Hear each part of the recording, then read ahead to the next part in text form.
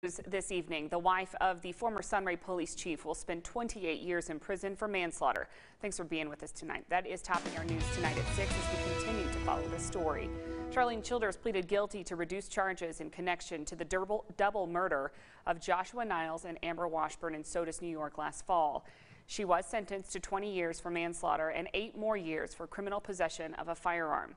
Prosecutors say a custody battle between Childers and her ex-partner Niles led to the murder plot. In court, Childers testified against her husband, Timothy Dean, saying that she told him something had to be done after losing custody of her children.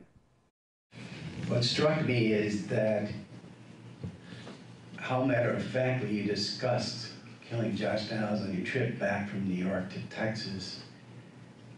It was like asking Timothy Dean if he wanted to go out to dinner, and you knew he'd say yes. That was the thing, you knew he'd say yes. Timothy Dean was found guilty of two counts of first degree murder. That was back in May. He's scheduled to be sentenced on July 25th and faces a penalty of 25 years to life. Another former Sunray officer, Bron Bowler, was sentenced for one to three years in prison for conspiracy after he helped Dean rent a car that was used to get him to Sodus.